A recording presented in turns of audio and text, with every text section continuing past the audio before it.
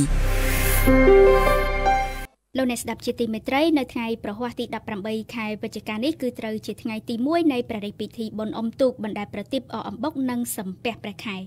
ដូច្នេះនៅក្នុងនេតិអរិយធម៌ខ្មែររបស់វិទ្យុបារាំងអន្តរជាតិ AFE នៅពេលនេះហេញឧត្តមសូមចាប់អារម្មណ៍ផ្ដោតចំពោះតែបុណ្យអុំទូកជាមុនសិន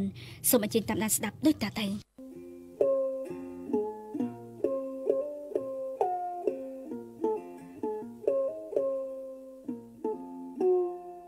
មនុស្សខ្មែរជាទូទៅស្គាល់គ្រប់គ្នាពិធីបុណ្យអុំទូកពីព្រោះថាជាពិធីបុណ្យប្រពៃណីជាតិជាពេលវេលាឈប់សម្រាកពីការងារ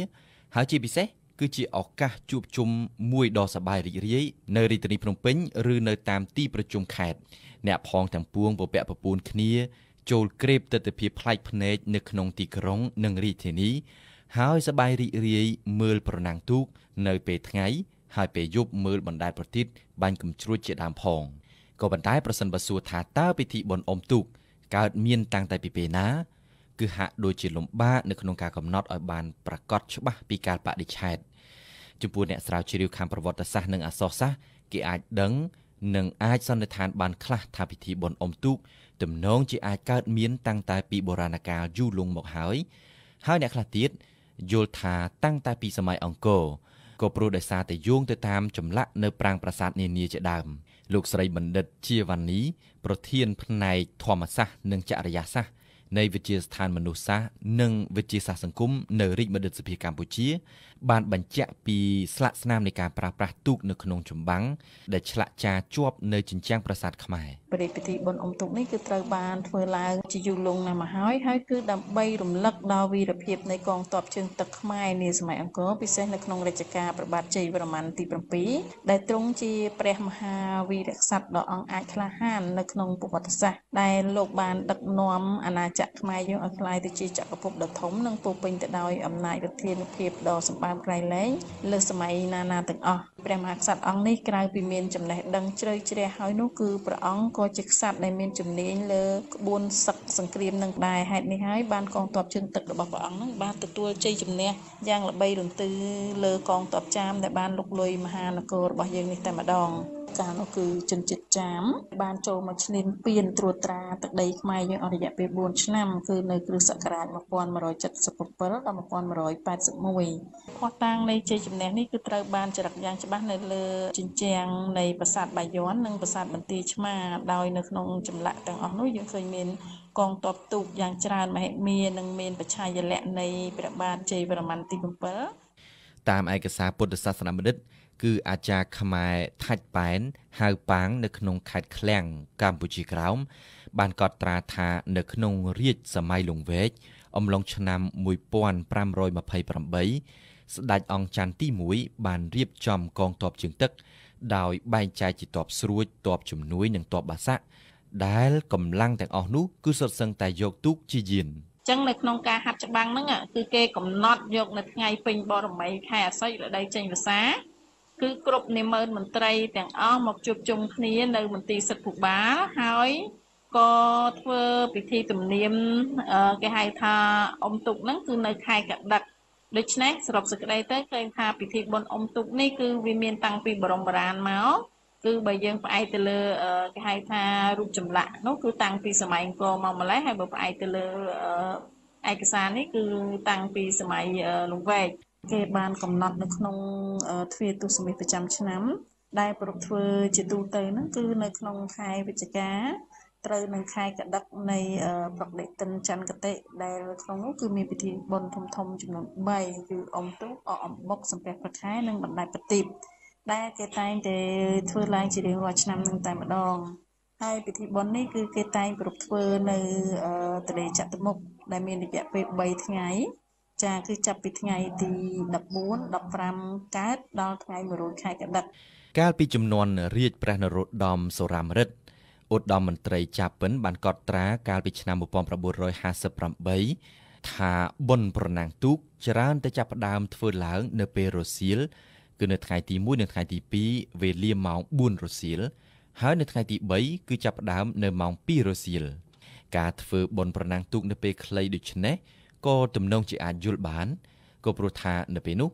មានគូប្រណាំងទូកត្រឹមតែប្រមាណ30គូតែប៉ុណ្ណោះដែលមកពីបណ្ដាវត្តនៅរាជធានីនិងនៅក្នុងខេត្តផ្សេងផ្សេងដែលនៅជិតដងទន្លេ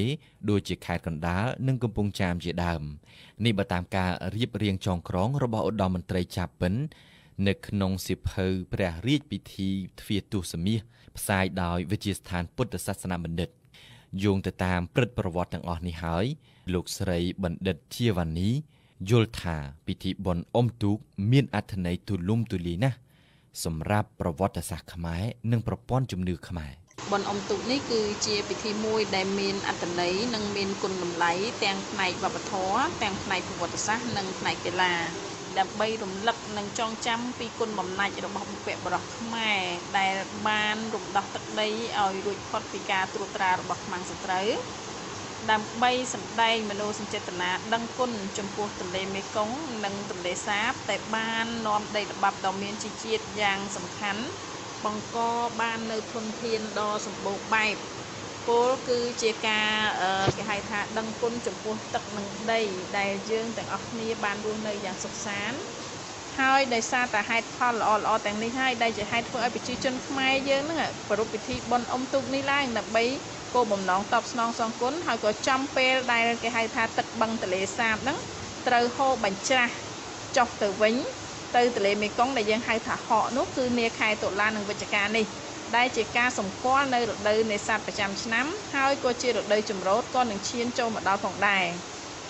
មួយវិញទៀតក៏ដើម្បីជាការតបស្នងសងគុណដល់វត្ថុស័ក្តិសិទ្ធិនានាដែលមាននៅក្នុងលោកដែលមានរួមដូចជាប្រលឹងធម្មជាតិនិងដូនតាដែលបានជួយជ្រោមជ្រែងក្នុងការធ្វើឲ្យមានកំណើនភោគផលជីវិតជំនាញដែរដោយឡែកបុណ្យអុំទូកនៅថ្ងៃទី3គឺថ្ងៃផ្ដាច់ព្រាត់ពាក្យថាផ្ដាច់ព្រាត់នេះមានអត្ថន័យពិសេសមួយបែប ប្រសិនបើគេគិតទៅលើប្រព័ន្ធជំនឿខ្មែរមន្ត្រីជាន់ខ្ពស់នៃក្រសួងវប្បធម៌លោកស៊ីយុនសុភិរិទ្ធបានកត់ត្រានៅក្នុងបណ្ដាញវប្បធម៌ខ្មែរឈ្មោះថា You Sao Tho ថាការផ្ដាច់ព្រាត់នៅកណ្ដាលទន្លេ4មុខនៅថ្ងៃបញ្ចប់នៃការអុំប្រណាំងទូក នៅពីសម័យមុន គឺនៅពេលប្រណាំងទូកចប់ភ្លាម មានព្រាមបាគូម្នាក់ដែលអង្គុយនៅក្នុងទូកកណ្ដាលទន្លេយកដាវកាត់ផ្ដាច់ព្រាត់ ចំពោះអ្នកស្រាវជ្រាវខ្មែររូបនេះការកាត់ផ្ដាច់ព្រាត់នៅកណ្ដាលទន្លេចតុមុខនេះមានអត្ថន័យនិមិត្តរូបយ៉ាងសំខាន់គឺដើម្បីទម្លាយទឹកដែលកំពុងតែចាល់នៅក្នុងទន្លេសាបឲ្យហូរបញ្ច្រាស់ចាក់ទៅសមុទ្រវិញតាមពិតទៅទឹកទន្លេសាបនៅវេលានេះហូរចាក់ទៅសមុទ្រវិញជាច្រើនសប្តាហ៍មកហើយក៏ប៉ុន្តែជាធម្មតាទេ នៅក្នុងក្រសែភ្នែកអ្នកស្រាវជ្រាវពីព្រោះថា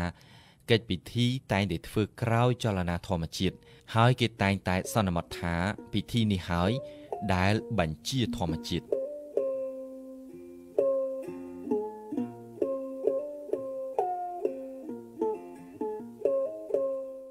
លោកអ្នកស្ដាប់វិទ្យុបារាំងអន្តរជាតិ AFE ការផ្សាយកម្មវិធីព័ត៌មានរយៈពេល1ម៉ោងរបស់វិទ្យុយើងនៅរសៀលនេះបានឈានមកដល់ទីបញ្ចប់ហើយ